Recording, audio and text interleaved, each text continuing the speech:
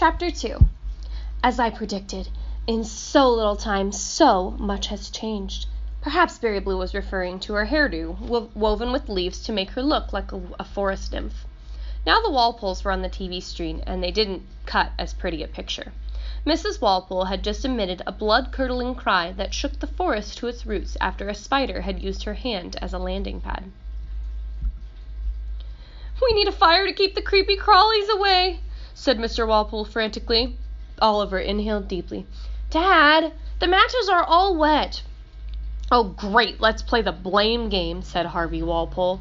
Your mother was half drowning in the waves, and you wanted me to think about matches. The water, the water they'd waded through to come ashore had only been knee deep, but Oliver bit his lip. This was probably not the best time to make make a point. It's too sticky for a fire anyway, said Mrs. Walpole, lifting one perfectly arched eyebrow, and it makes my hair frizz. Oliver said nothing.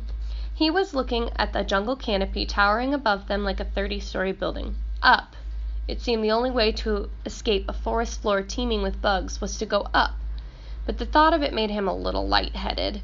He stared out at the buttress roots, propping up the tallest trees and masses of vines and creepers that looked like spaghetti. A buttress is a support of some sort, so what they mean here is saying that the roots are helping keep those trees standing tall. The thought of food made Oliver's stomach rumble. The creepers weren't for eating, but they were as thick as a man's arm, twisting and twining up to the sun. Maybe they had other uses. Let's make a camp, he shouted. We can cut these creepers and build somewhere to sleep. I'll handle that, said Mr. Walpole gallantly, and Oliver heaved an inward sigh of relief. The family spat had been postponed. Well, at least for now. Mr. Garcia was also looking up, which explained why his foot got caught in a mess of tangled roots. His ankle throbbed painfully, but his heart jumped. Water! Food! fuel, shelter. This was it! Coconut palms, said Gabriella, feeling thankful for these drift seeds that had traveled across oceans and on currents to take root on this remote island. She shot her father a worried look as he extricated his foot, wincing. Are you okay, Papa? He nodded, although a red hot flash of pain surged through his leg as they trudged forward, the mud clenching around their feet. The tide was coming in faster than they'd expected, submerging their swampy jetty and threatening to overcome them. They've mentioned the tide a couple times here. So the tide is when the sea rises and falls throughout the day. Um, that's usually due to the sun and the moon affecting the water levels. So right now the tide is getting higher, meaning the water levels are growing. Sprained ankle or not, they would have to keep moving, even if every movement was excruciatingly slow. They clambered to dry land as the tide rose higher.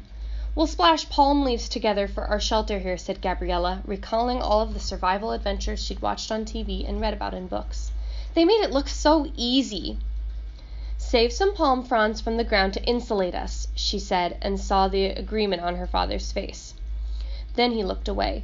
Gabriella's father had never stepped out of the little town where he was born, and now they were in a mangrove swamp. There would be rising tides and hungry crocodiles, as well as leeches and snakes that she hoped the palm fronds would protect them from. Gabriella was glad she didn't have to spell it out for him. The Lius weren't having it easy either. There was only enough bread, cheese, and raisins to last one whole day if they ate frugally meaning if they didn't eat very much. The temperature had dropped noticeably, and the wind whistled like a banshee. Mrs. Liu's teeth were chattering already. Look, warm, she stuttered, still sparing a frozen smile for the cameras. Mr. Liu's speech was slurred. No animal can survive this. The twins exchanged looks, early signs of hypothermia. They had to find shelter, and fast. Hypothermia is when you get too cold, um, and so your body begins to shut down. Shen's thoughts were wandering again. How did animals survive in this windy wasteland of grass and rock? Gelada baboons, said May, reading Shen's thoughts as always. Didn't these primates of the Ethiopian highlands escape their windswept habitat by climbing down steep cliff faces at, at nightfall and roosting in the ledges?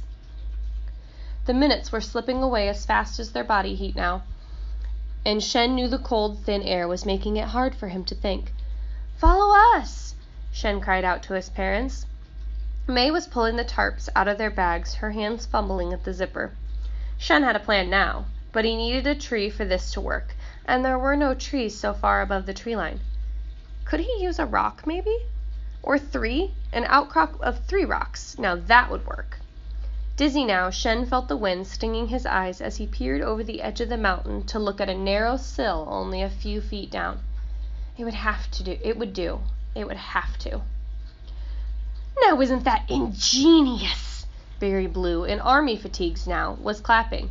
The Lius were tucked inside two large tarp hammocks slung over the cliff moored by the rocks. Below them, a tiny ledge stood between them and nothingness. I have to say, I'd be very scared to do something like that. There's always a solution to every problem, Barry Blue said, cocking her head thoughtfully to one side. The Garcias were crawling into their palm leaf shelter, and the Walpoles were already inside what appeared to be a large cross frame made of creepers suspended above the ground. So safe, so sound, said Barry Blue, pretending to yawn, and hugging her heart shaped pillow. Good night, and oh, sleep tight.